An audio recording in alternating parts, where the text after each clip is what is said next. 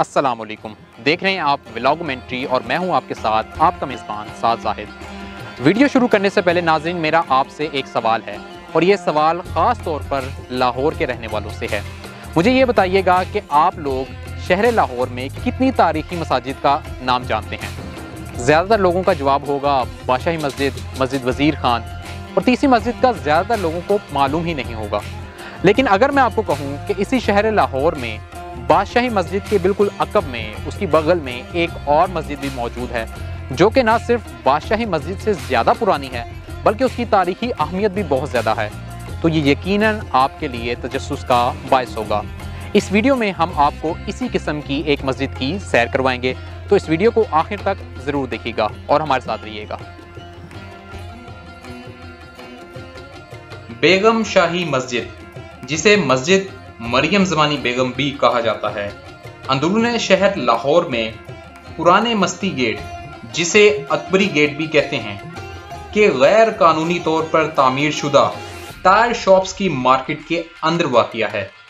तजावजात के बायस बेशतर लाहौरिये भी इस शहकार से नावाकिफ हैं।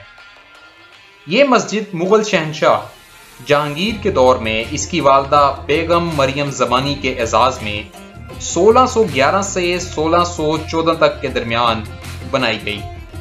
ये वही मरियम जमानी बेगम है, जो कि एक हिंदू खातून थी और जिन्हें तारीख में महारानी जोधाबाई के नाम से भी याद किया जाता है। इन पर हिंदुस्तान में बहुत सारी फ़िल्में बन चुकी हैं, जिनमें सबसे ज़्यादा काबिल ज़िक्र ऋतिक रोशन और ऐश्वर्या राय की 2008 की फ़िल्म जोधा अकबर है। चलिए अब इस मस्जिद के अंदर चलते हैं। ये है इस मस्जिद का दाखिली दरवाज़ा। फिर सामने ये मंजर देखने को मिलता है। सेहन के दाएँ जानिब। मस्जिद है, जबकि बाएँ जानिब कुछ कब्रें भी मौजूद हैं। बीचों बीच वज़ू का एक बहुत बड़ा तालाब भी है। ये है मस्जिद का मरकजी हिस्सा, जिसका कई सदियाँ गुजर जाने के बावजूद खूबसूरती में कोई सानी नहीं। अपने खूबसूरत आर्किटेक्ट के बायस ये बिल्डिंग देखने वालों को अपने शहर में मुबतला कर देती है। कई सदियाँ गुजर गई, लेकिन इसका बेशतर आर्ट वर्क अभी तक मौजूद है। एक मंजर जिसने मुझे काफ़ी मायूस किया, वो ये था।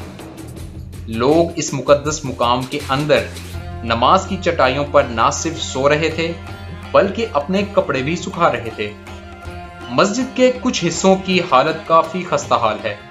लेकिन एक अच्छी बात यह है कि अल्लाह के इस घर की मुरम्मत का काम शुरू हो चुका है। जुलाई 2016 में वॉल सिटी अथॉरिटी ने ऐलान किया था कि दुकानों को खत्म कर दिया जाएगा और मस्जिद को भी महफूज और बहाल किया जाएगा। खालसा राज में ये मस्जिद सिख हीरो भाई मनी सिंह जी के बायस मशहूर थी। जिन्हें दिल्ली गेट के करीब ही सजाए मौत दी गई थी। मस्जिद के कुछ हिस्से को रंजीत सिंह के दौर में गन पाउडर फैक्ट्री में तब्दील कर दिया गया। और इसी बायस ये मस्जिद बारूद खाने वाली मस्जिद के नाम से भी जानी जाती थी। 1850 में जाकर ये मस्जिद लाहौर के मुसलमानों को वापस कर दी गई।